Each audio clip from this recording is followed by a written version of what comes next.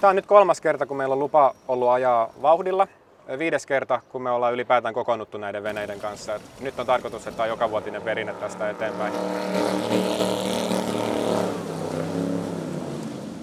Meitä oli noin 12-13 venettä. En osaa laskea.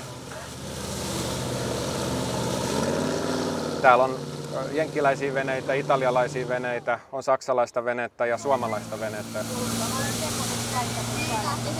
Tämä on kaverivene Chris Crafti 30-luvulta, V8 moottori, hienoa mahonkia ja kulkee aika kivasti.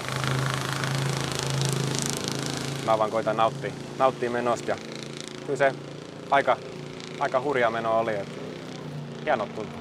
Tukka on takana, juu, juu. Elämä edessä.